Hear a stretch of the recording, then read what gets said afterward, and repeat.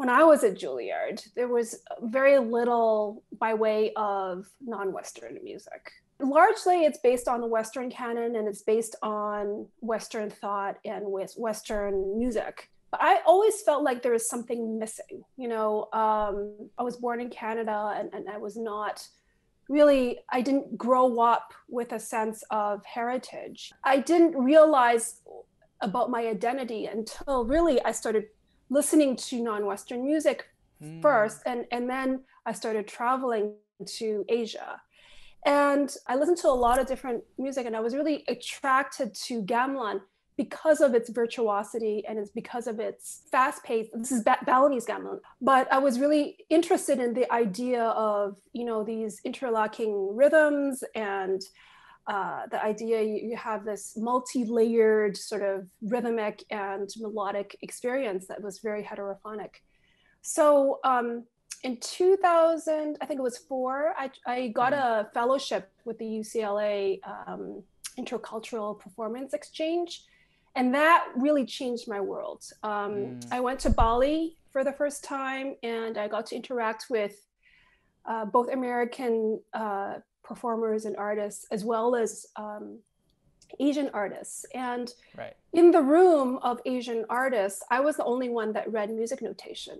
Mm, so because with with gamelan, you know, you you don't really learn by way but by way of notation. You learn by right. rote, and you learn by uh, doing, you know, and you mm-hmm. learn mm. by listening.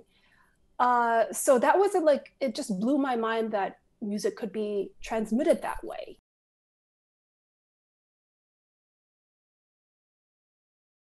My family is very traditionally Chinese, very Confucian in a way, because uh, my mom, especially, really uh, was very um, concerned about family. So it was mm-hmm. something mm-hmm. very, very close to her. And I, I grew up with cousins uh, in Edmonton, and we always would get together.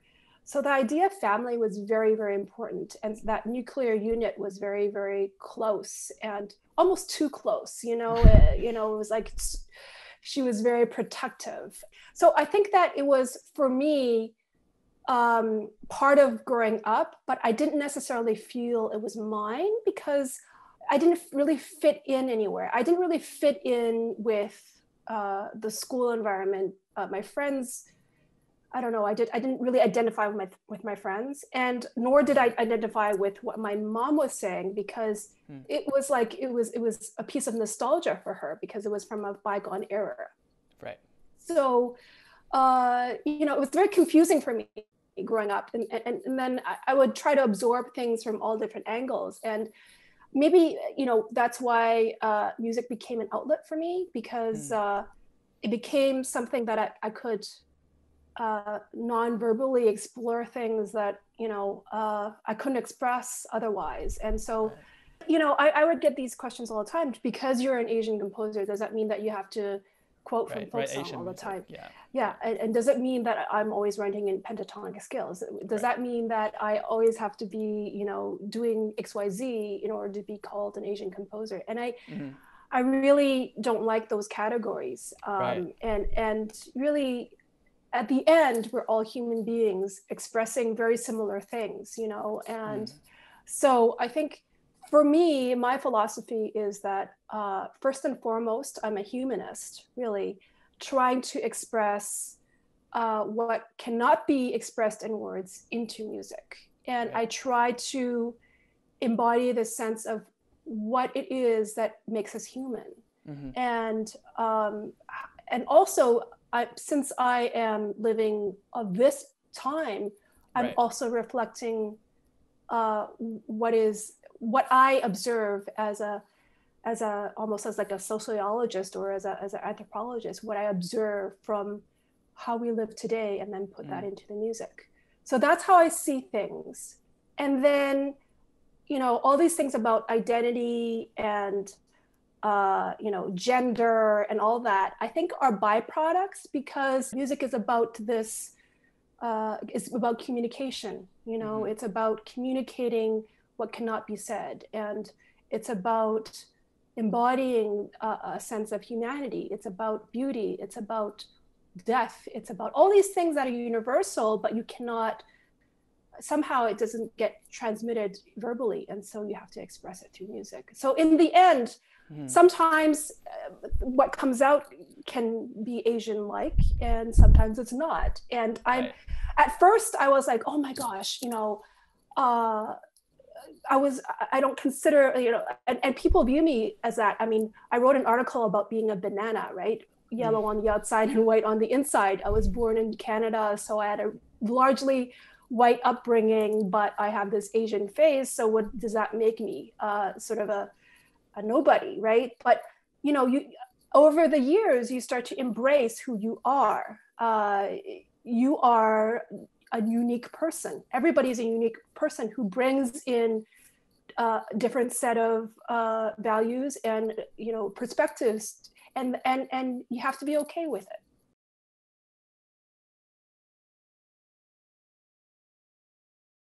This pandemic has, um, I think, for me, it intensified everything.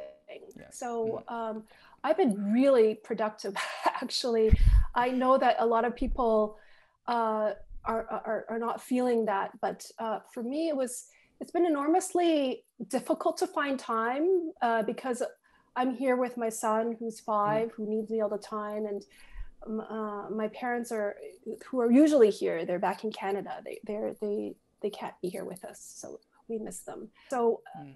You start to see all the news and all the things that are happening around the world, and when I do that, everything it just gets like the things that I see and the things that I experience are so like strong. You know, mm. it just evokes something very strong, and so um, I put that into the music. And so the flute concerto is uh, subtitled "Storm Within," and the reason why I did that was it's it was just a culmination of all these things happening around the world, and uh, you can't help but just put that into the music and the other thing is that i you know i asked myself like what can i add to the repertoire that's not already there? And so i didn't really want to recreate uh, bird song for example in the flute because that's been done so many times before. And i feel like i wanted to focus on the flute's uh, percussive power uh, using mm. the lips to produce different sounds.